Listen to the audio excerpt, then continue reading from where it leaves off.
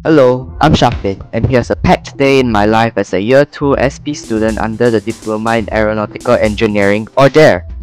First lesson of the day is Thermal Fluids 2, and today we learned about gas cycle equations like how heat energy gets converted into mechanical work.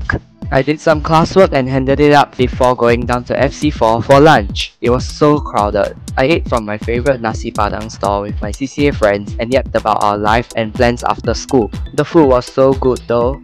Then I went off to the Aero Hub for my next lesson which is Aircraft Electrical and Instrument System or AEIS Practical.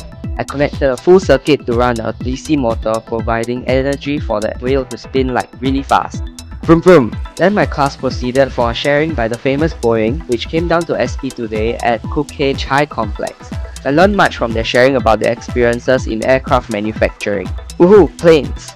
Next, I went down to change for my CCA session with SP Adventurers. Today, we did rock climbing at SP's large rock wall. Here's me belaying my friend up the wall. Did you know that SP's rock wall is 30 meters tall?